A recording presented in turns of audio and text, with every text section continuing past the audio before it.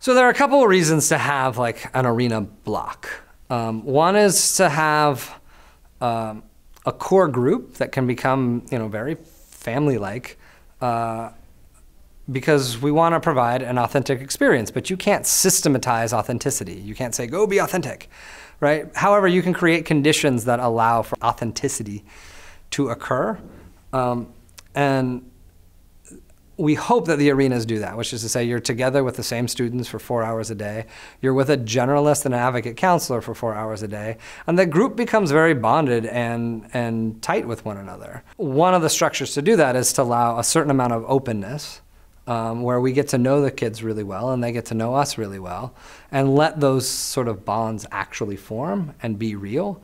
And then we can go to work on sort of the academics a generalist teacher will be able to, again, know that student very well, be able to coordinate, uh, coordinate a specific graduation plan, a, a, specific skill arc for each student, um, and actually be able to do that. Whereas if you had 125 students, um, that's unfair to ask, right? But at 27 students, it's actually possible to do.